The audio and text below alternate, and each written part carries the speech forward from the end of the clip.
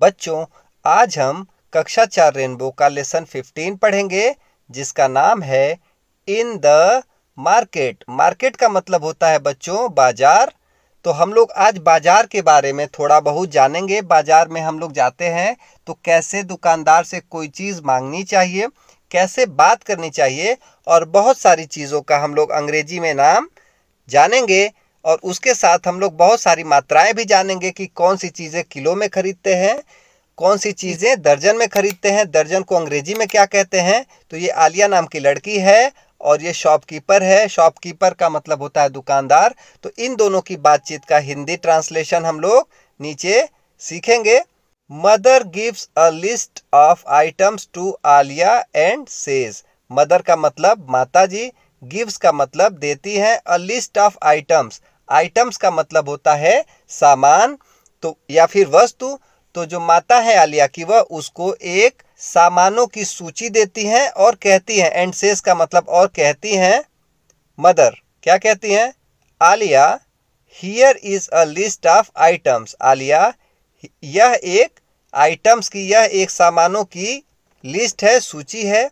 Please bring these things from the market please bring का मतलब होता है लाना दीज थिंग्स यानी कि ये चीज़ें फ्रॉम द मार्केट मार्केट से। प्लीज़ ये चीज़ें मार्केट से लेती आओ। आलिया कहती है ओके माँ, ठीक है माँ।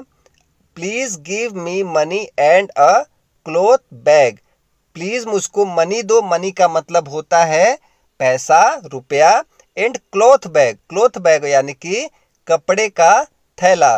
तो वह अपनी माँ से कपड़े का थैला और रुपए मांगती है। Alia goes to a grocery store. Grocery store किसको कहते हैं? किराने की दुकान को हम लोग या फिर पंसारी की दुकान को ग्रोसरी स्टोर कहते हैं, जहाँ पर लगभग हमारे ज़रूरत की सारी सामान मिल जाती हैं। तो उसको ग्रोसरी स्टोर कहते हैं। तो आलिया एक ग्रोसरी स्टोर पर जाती है। आलिया कहती है, हेलो महेश अंकल वह महेश अंकल से मिलती है जो कि शॉपकीपर हैं दुकानदार हैं और जब भी हम किसी से मिलते हैं तो उनको हेलो बोलते हैं तो आलिया महेश अंकल से मिलती है तो बोलती है hello Mahesh uncle.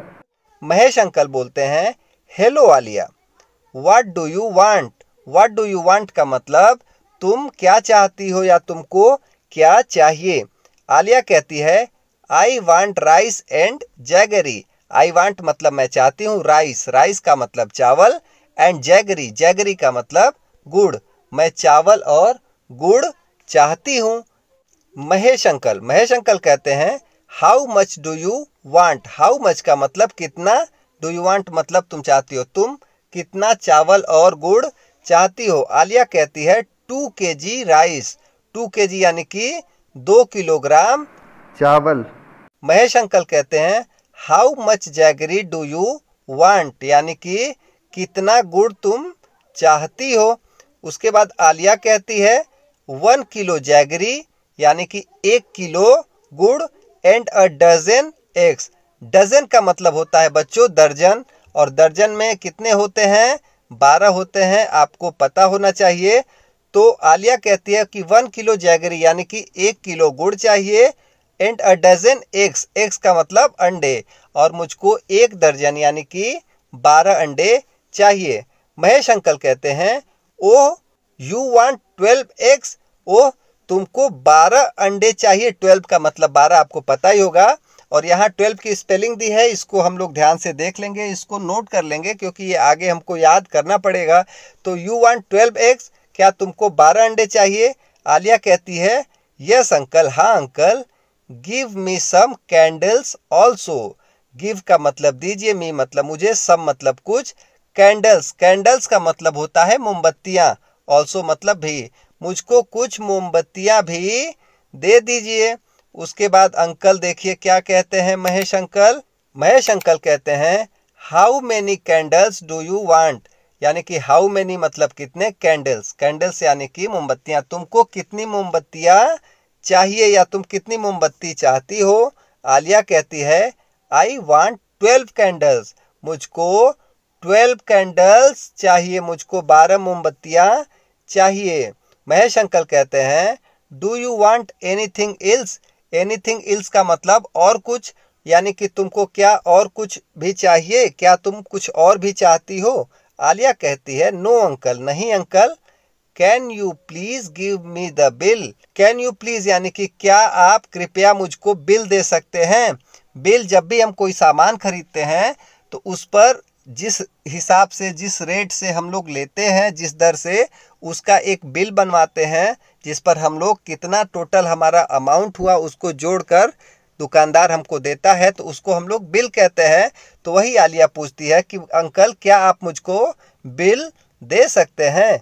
Mahesh uncle कहते हैं here is your bill of two hundred and fifty rupees and your packets यानी हियर इज़ योर बिल ये रहा तुम्हारा bill of two hundred and fifty rupees यानी कि दो सौ पचास रुपए का एंड योर पैकेट्स और तुम्हारे पैकेट्स यानी जो तुम्हारे सामान का पैकेट है, जिसको उसने एक थैले में एक जगह इकट्ठा किया हुआ है, एक पैकेट्स में, उसको दे देते हैं।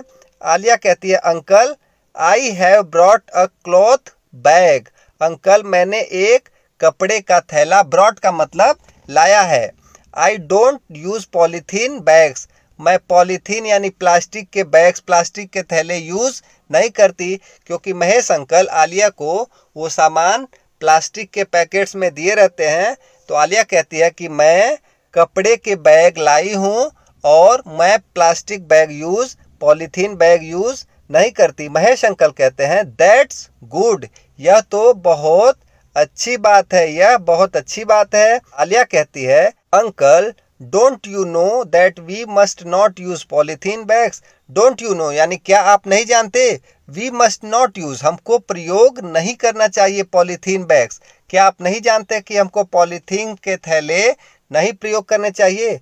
महेश अंकल कहते हैं I know Alia but other customers don't bring cloth bag like you मैं जानता हूँ आलिया आई नो आलिया यानी कि मैं जानता हूँ आलिया बट मतलब लेकिन अदर कस्टमर्स कस्टमर्स का मतलब होता है ग्राहक, जो अदर कस्टमर्स हैं, दूसरे ग्राहक हैं डोंट ब्रिंग यानी कि नहीं लाते हैं क्लॉथ बैग्स कपड़े के थैले नहीं लाते हैं लाइक यू तुम्हारी तरह दूसरे कस्टमर्स कपड़े के थैले नहीं लाते हैं।